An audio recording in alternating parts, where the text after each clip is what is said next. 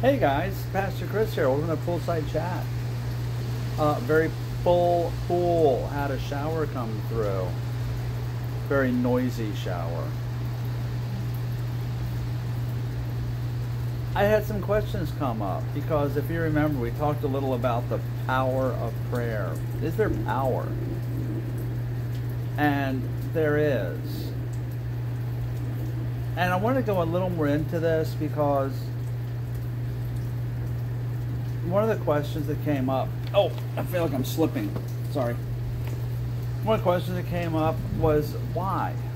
Why do we get cancer? And, um, you know, how do you get prostate cancer? Why did you get cancer? Why? And I kept thinking, I'm going to read you something. This is a story of in the book of John of the man born blind. I love this story for a number of reasons, but I want to read just the first four or five verses. This is John chapter 9. I want to start in verse 1. And it says, As he, he being Jesus, as he went along, he saw a man blind from birth. His disciples asked him, Rabbi, who sinned? This man or his parents, that he was born blind? Back in Jesus' day, it was always thought that different physical illnesses, issues, came from sin. It was a punishment, if you will. So Jesus answers, verse 3 Neither this man nor his parents sinned, said Jesus. But this happened so that the works of God might be displayed in him. As long as it is day, we must do the works of him who sent me. Night is coming when no one can work.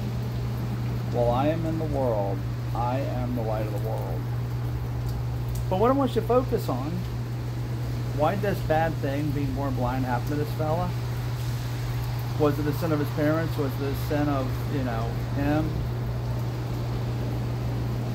But the answer of Jesus is what I want you to notice. But this happened so that the works of God might be, be displayed in him.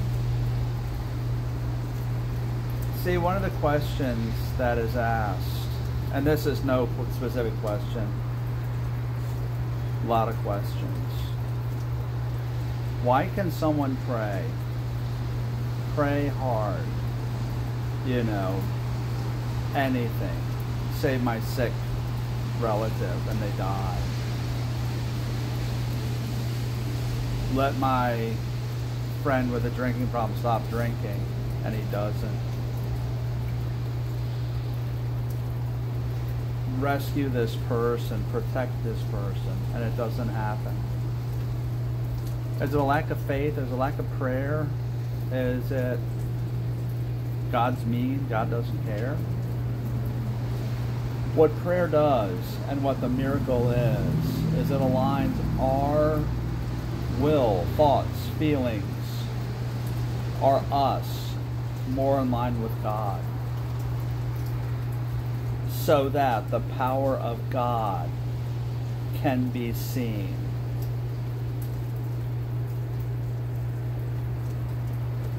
See, there are things we want.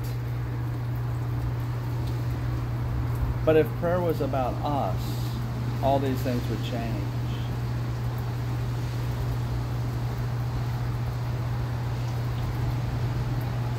But since prayer is about not so much making God conform to us, but it's helping us conform to God so that we can be more in tune with God, so that we can ask God to help us see things through His eyes, His perspective, and be with us so He can work through us in whatever situation it is. And there is a beauty, there is a power, there is a strength through being able to do that and see that and realize that and take advantage of that and understand that that that's what prayer is. So I hope this helps because it's a question we often ask why do these bad things happen why doesn't God fix this bad stuff? Because He's working through the bad stuff to help us conform to Him so that His will is done through us. It's amazing that we get to be an instrument, a vessel, a partner, a person that God can work through and use to accomplish His will. So I hope this helps. But read this story. This is John chapter 9, the story of the man born blind. And look,